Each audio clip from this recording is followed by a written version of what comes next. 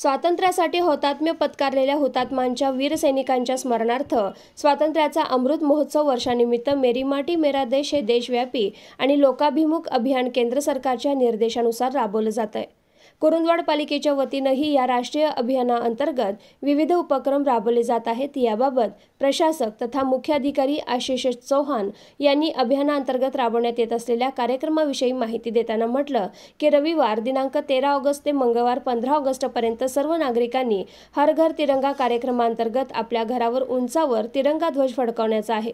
आपल्या परिसरातील नागरिकांनी सहभागी होण्यासाठी प्रोत्साहित करावं असं आवाहन मुख्याधिकारी चौहान यांनी केलं.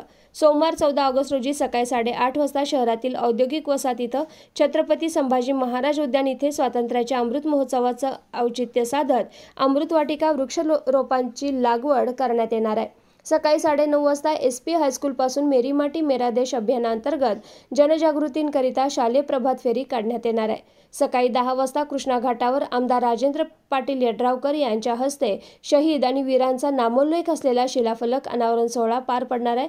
तसेच मिट्टी को नमन वीरो को वंदन या संकल्पनेनुसार स्वातंत्र्य सैनिक आणि वीरांना वंदन कार्यक्रमाचं आयोजन करण्यात आलंय.